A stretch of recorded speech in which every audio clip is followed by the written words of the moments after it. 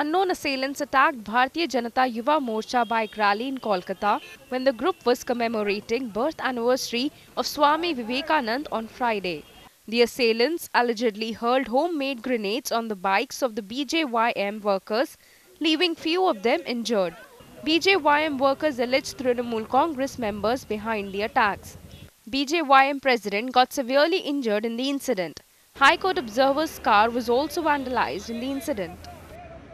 Attack किया लोग दाइने से आकर के हम जज को हाईकोर्ट के जज अजबर भाई को लेकर के आज जा रहे थे। उनके पुलिस के सामने था। पुलिस के मैंने बीच में था। दो तीन गाड़ी आगे पीछे में मेरा पुलिस था। कोई उतरा नहीं। और एक बाइक आकर के अटैक किया लो मात्र आज जा रहे थे मिसिल में। रैली में।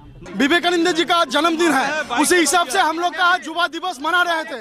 वहाँ से हम लोग जब जा रहे थे हम लोग का जो अभी बीजेवाई का प्रेसिडेंट है उसका ऊपर हमला हुआ उसका पैर टूट गया वो वहाँ पे सोया हुआ है। यहाँ पे यहाँ पे यहाँ पे कार्यकर्ता का मरा है। पैर तोड़ दिया है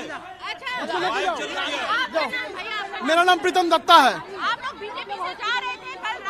हम भारतीय युवा मोर्चा से जा रहे थे कल से, ये टीएमसी वाला गंडगोल कर रहा है। टीएमसी से भी यहाँ का जो पुलिस राज चल रहा है, ये पुलिस राज गंडगोल कर रहा है।